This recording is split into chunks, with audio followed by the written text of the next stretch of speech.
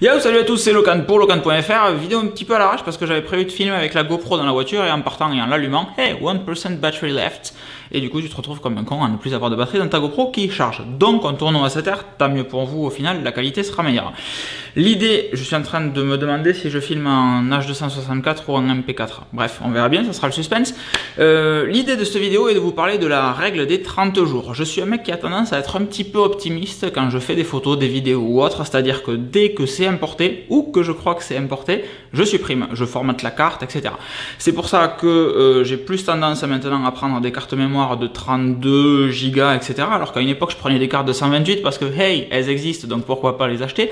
Et en réalité, j'ai plus tendance à prendre des cartes de 32, 64 maintenant parce que, ben, en réalité, je m'en sers jamais de plus. Je suis pas le genre de mec qui laisse tout traîner sur sa carte SD.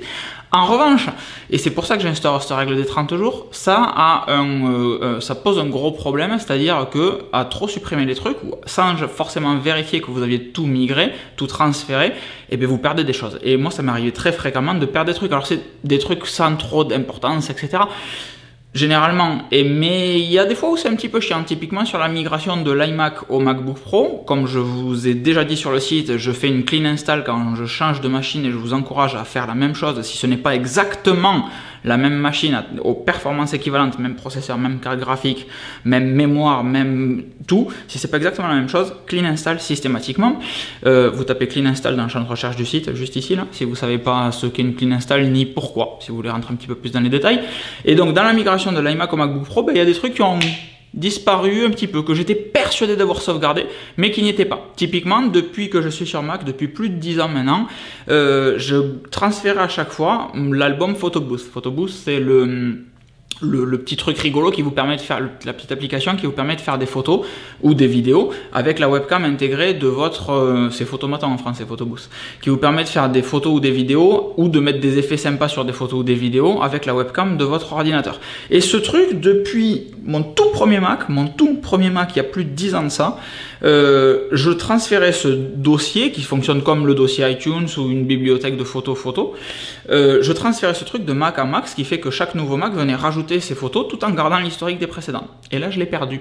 Et comme je suis un mec trop optimiste, évidemment, donc je l'ai transféré, je l'ai perdu, c'est une chose. Vous vous diriez, ouais, mais il a toujours son backup time machine pour venir le récupérer. Ben non, parce qu'à partir du moment où j'ai migré tout mon truc sur le, où j'ai transféré toutes mes données, etc., il n'y a plus de raison que mon backup time machine existe. Donc, pif, suppression du backup time machine avec ce petit dossier photoboost qui reste dedans. Et plus de 10 ans de photos rigolotes dedans c'est quand même un petit peu chiant. Il n'y avait pas trop de photos, hein. on restait à deux chiffres, il devait y en avoir 40, euh, 50, pas plus. Mais c'était quand même des photos que de temps en temps je repassais, je faisais ah, c'était marrant cette histoire, etc. C'est assez fun. Bref, euh, d'où la règle des 30 jours. Parce que euh, ben, parfois on perd des trucs. Donc, la règle des 30 jours, qu'est-ce que c'est? Elle consiste à ne rien toucher d'un setup préexistant quand vous le transférez vers quelque chose de nouveau pendant 30 jours. C'est-à-dire que migration de mon iMac vers le MacBook Pro, pendant 30 jours, je garde mon backup, je garde tous les fichiers avec lesquels j'avais l'habitude de travailler avec mon iMac. Même mieux, je garde mon iMac 30 jours. Faut pas trop pousser non plus, mais dans l'idée, c'est un petit peu ça. Je fais ou je fais un clone de mon iMac pam, et je garde ce clone. Le Time Machine, typiquement, j'aurais pu remonter dedans, etc. Vous faites... Euh, des photos, des vidéos, etc. Vous gardez ces photos et ces vidéos sur la carte mémoire pendant 30 jours tant que euh, après que vous pensez les avoir copiés dans Photo ou dans Final Cut. C'est super important. Règle des 30 jours pour tout. Donc les cartes mémoire, etc. Les vidéos que je fais, donc là la vidéo elle va être importée, c'est bon. Les photos que je fais, je les garde 30 jours sur la carte mémoire. J'essaye ou sinon je vérifie bien en rebranchant dans Photo, être sûr qu'il n'y a plus aucune photo qui sont dans, sur la carte mémoire et pas dans l'application photo. Une fois que je suis sûr, ok c'est bon, je supprime. Pour les migrations, ça marche super bien, etc. Donc faites attention à ça. Si vous êtes un peu trop optimiste comme moi sur ce genre de petits détails. La règle des 30 jours est peut-être pas mal pour vous, ou des 15 jours, ou des 10 jours, vous adaptez. Je vous parle de la règle des 30 jours parce que sur le papier, quand j'ai fait mes bonnes résolutions, je me suis dit, cette année, je mets en place une règle des 30 jours parce que j'en ai un peu plein le cul.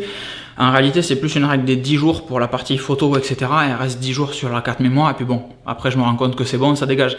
Par contre, il y a des, sur un ordinateur, ben, vous allez vous rendre compte de certains trucs bien plus longtemps après, donc 30 jours c'est quand même pas débile, surtout pour garder un backup qui était là dans tous les cas et qui vous prend pas de place en réalité.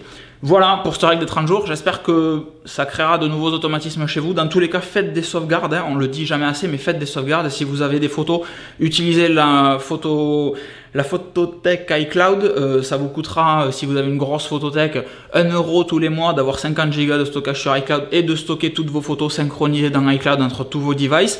Comme ça, vous êtes tranquille, vous perdez jamais vos photos. Idem pour vos contacts, vos mails, etc.